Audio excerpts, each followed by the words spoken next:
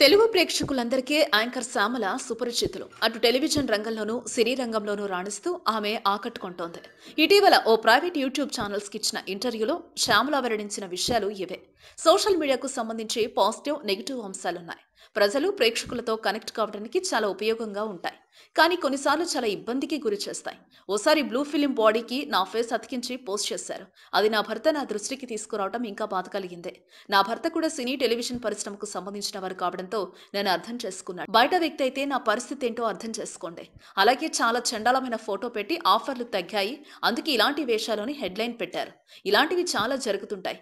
Social మీడియాలో negative comments పెట్టే వాళ్ళని చూస్తే బాధ కలుగుతుంది. తొలుత బాధ ఉన్న ఆ తర్వాత వదిలివేయటం అలవాటైపోయింది. నా ప్రొఫెషన్ విషయంలో నా భర్త ఎన్నడూ జోక్యం చేసుకోలేదు. నాకు చాలా సహకారం అందిస్తాడు. ప్రదీప్ సుమ లాస్య రవి లాంటి యాంకర్లందరూ చాలా కంఫర్టబుల్గా ఉంటుంది ప్రదీప్తో తొలిసారి అవార్డ్ ఫంక్షన్లో హోస్ట్గా వ్యవహరించాను.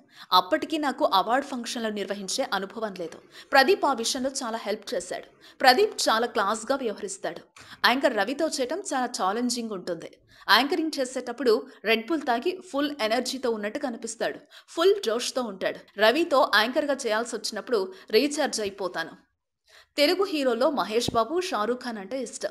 హీరోయిన్లలో సౌందర్య సిమ్రాన్ ప్రస్తుతం అనుష్క అంటే ఇష్టం. యాంకర్లలో ప్రదీప్ రవిని ఇష్టపడతాను. నేను సారీ చెప్పాల్సి వస్తే మా అమ్మకు చెబుతాను. పెళ్ళి విషయంలో ఆమెను బాధ పెట్టాను అని శ్యామల చెప్పింది.